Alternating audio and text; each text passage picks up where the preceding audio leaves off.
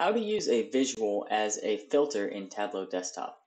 I have a dashboard prepared where when you select a bar on this bar chart, the rest of the dashboard filters down. Let's see how to do it.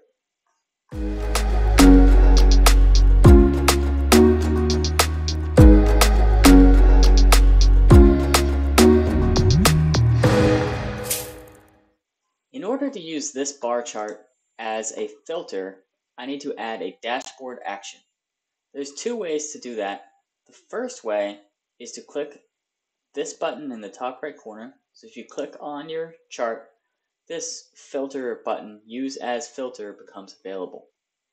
If I click that button, it's as simple as that. This bar chart is now a filter for the rest of the dashboard.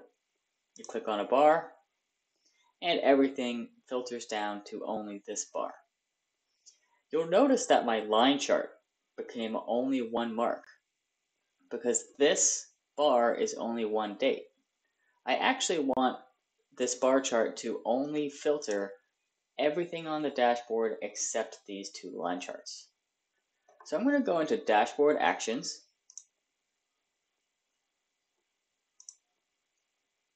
And the filter that I generated is right here.